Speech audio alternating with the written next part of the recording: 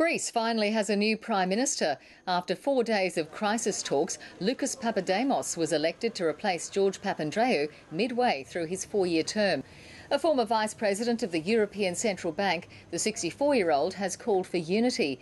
He insists the country must defend its membership of the Eurozone and has promised to seek cross party cooperation to do so.